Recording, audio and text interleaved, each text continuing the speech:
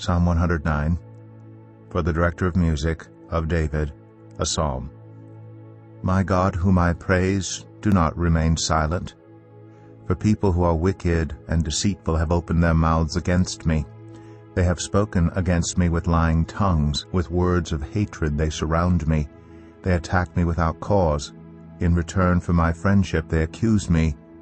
But I am a man of prayer. They repay me evil for good, and hatred for my friendship.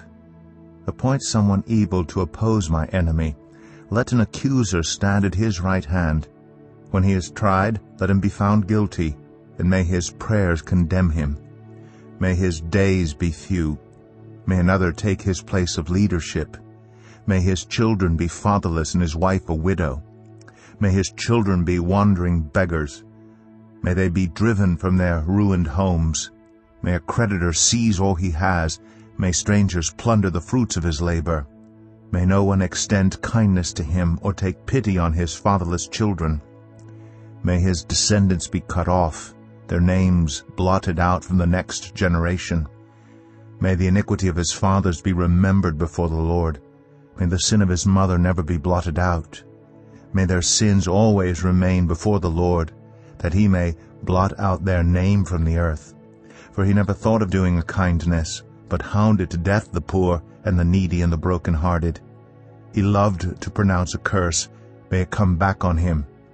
He found no pleasure in blessing. May it be far from him. He wore cursing as his garment. It entered into his body like water, into his bones like oil. May it be like a cloak wrapped about him, like a belt tied forever around him. May this be the Lord's payment to my accusers, to those who speak evil of me. But you, sovereign Lord, help me for your name's sake. Out of the goodness of your love deliver me. For I am poor and needy, and my heart is wounded within me. I fade away like an evening shadow. I am shaken off like a locust. My knees give way from fasting. My body is thin and gaunt. I am an object of scorn to my accusers. When they see me, they shake their heads. Help me, Lord my God. Save me according to your unfailing love.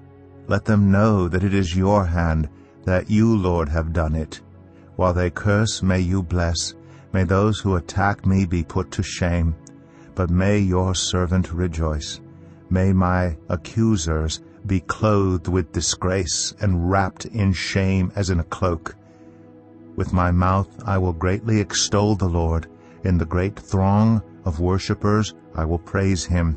For he stands at the right hand of the needy to save their lives from those who would condemn them.